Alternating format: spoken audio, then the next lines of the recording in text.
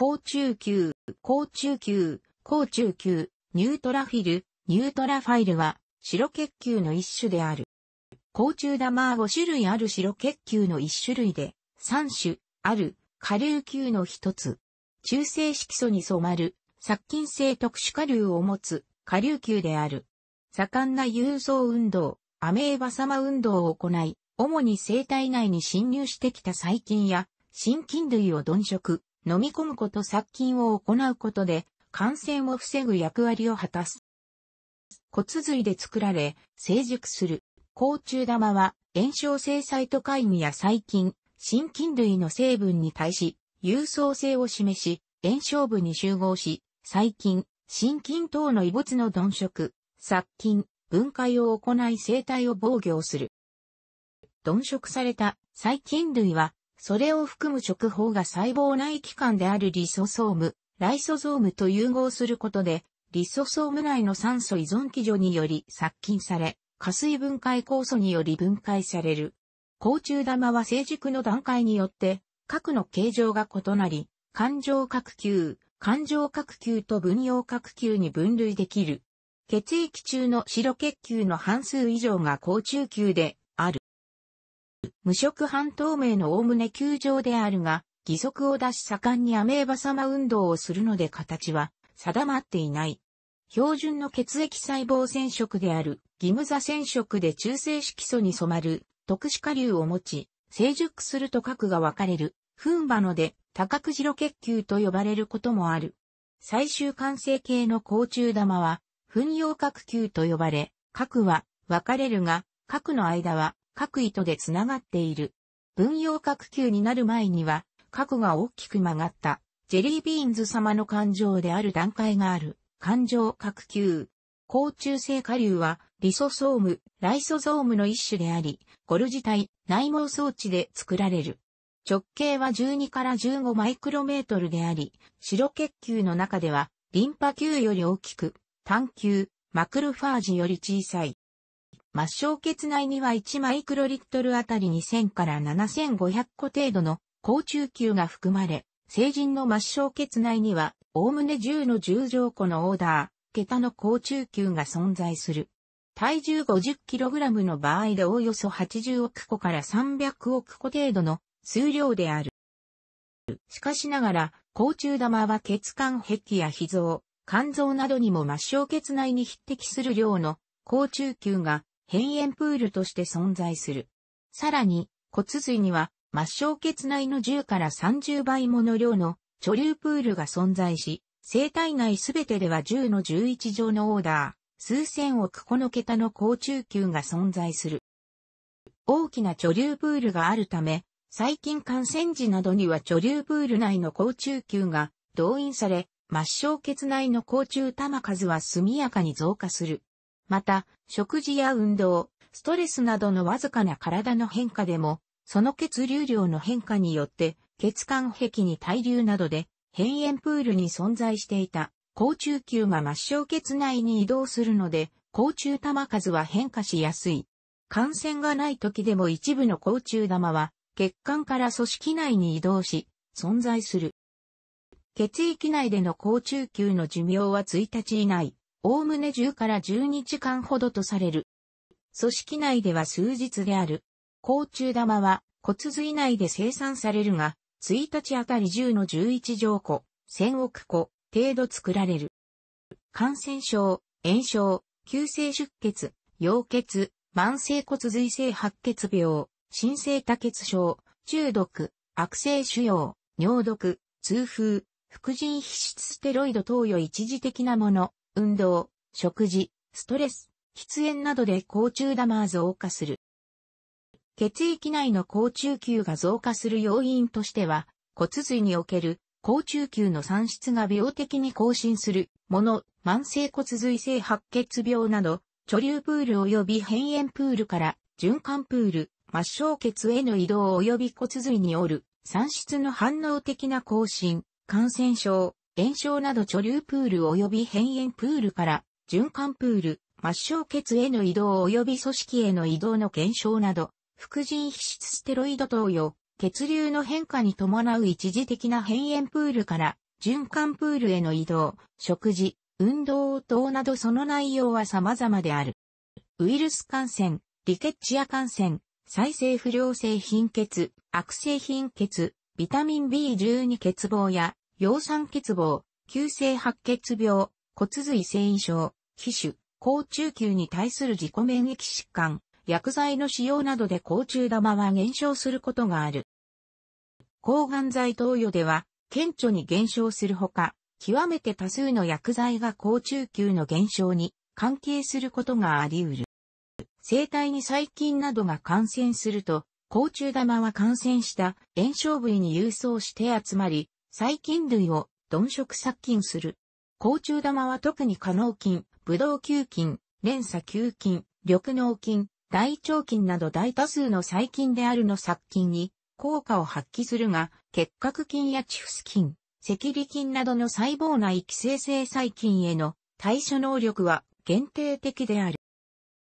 細菌や心菌類が侵入した組織では、組織内のマクロファージや肥満細胞が直ちに反応し、インターロイキン1、イール -1 などのサイトカインを放出し、それらのサイトカインにより、組織内の細胞は炎症性変化を起こす。また、それ以外の過程を含め、炎症性変化を起こした組織やマクロファージ、肥満細胞はインターロイキン8、 IL-8 あるいは NAP-2、 MIP-2 を代表とする多種類のケモカイン、サイトカインや、肥満細胞が放出するロイコトリエン B4、その他の多種類の好中球遊走刺激因子を放出する。また、細菌自身の産出物質、FMLP、フォルミルメチオニルロイシルフェニールアラニンや細菌と抗体との反応で活性化した補体成分も好中球を遊走させる走化因子として働いている。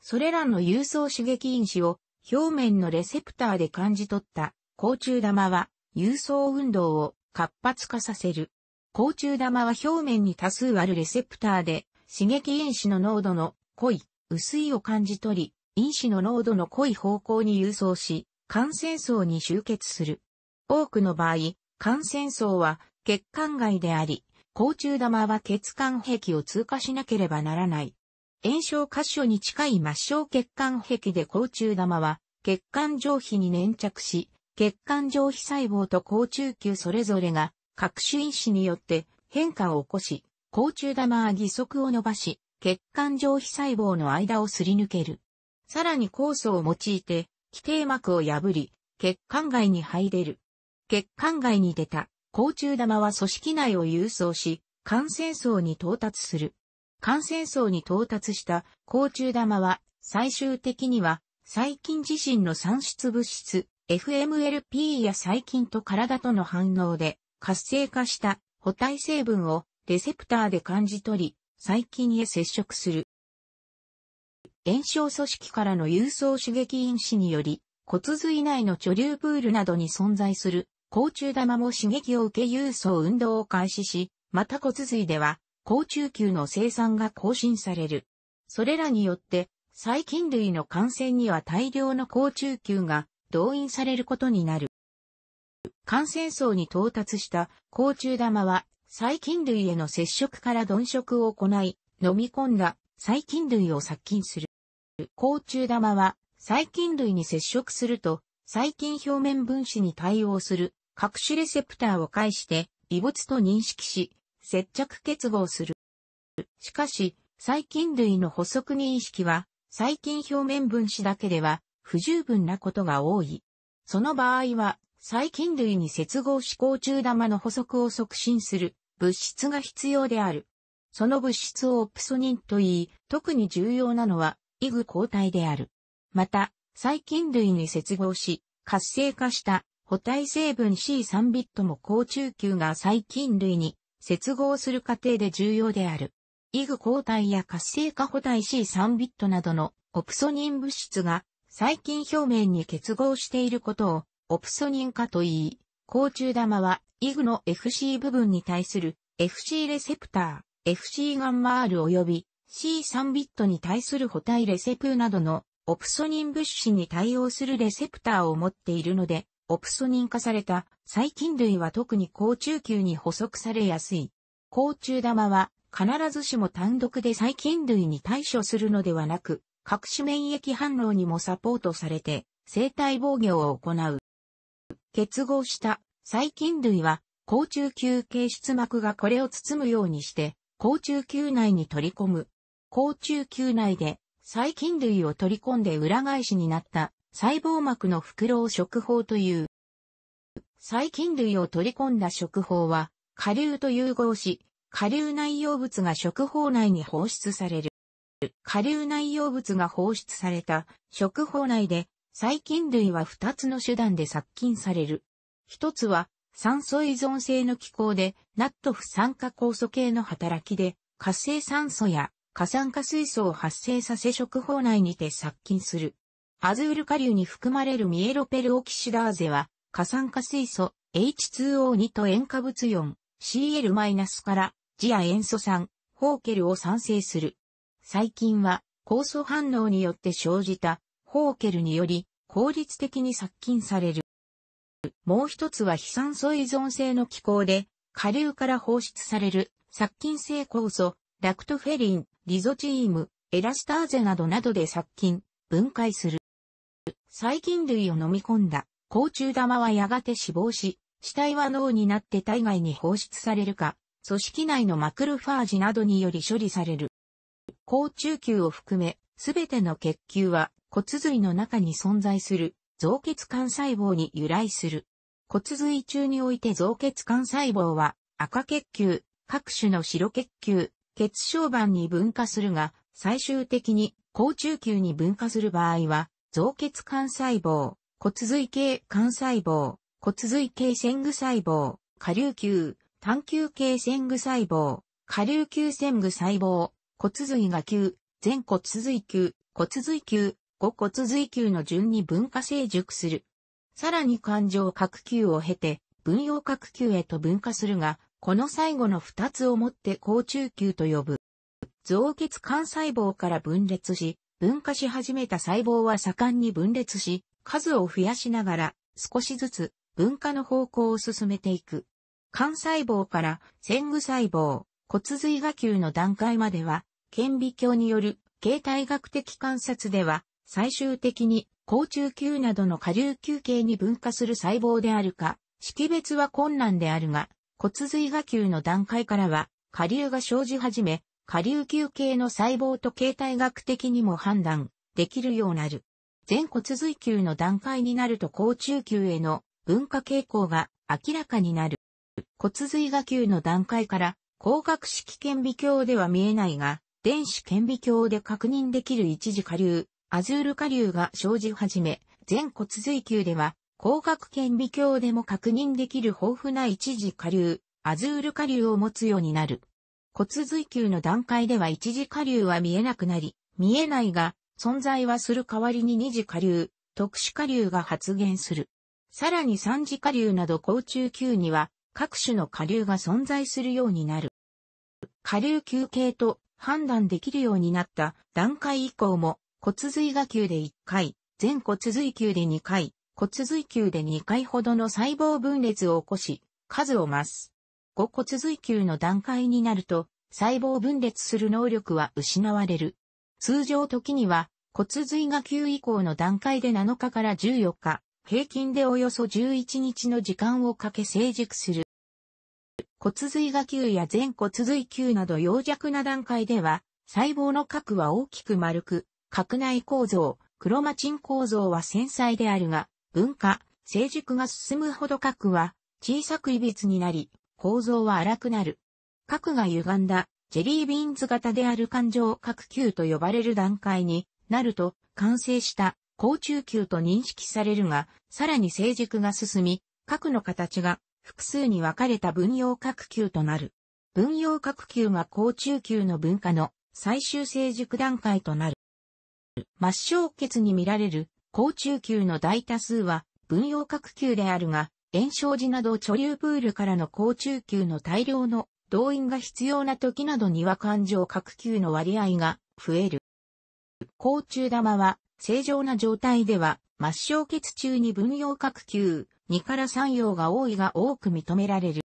感染症等の場合、免疫応答による高中球増加が見られるが、その初期の段階では感情核球が増加しさらに、陽弱な後骨髄球や骨髄球が末梢血に出現することがある。出血性貧血や医療行為による骨髄抑制などによる半血球減少からの回復期にも同様のことが起きる。このような一核細胞の増加を核の作法水位と呼ぶ。高中球を早急に動員しなければならない事態のために最終成熟形態でない高中玉も動員されるためである。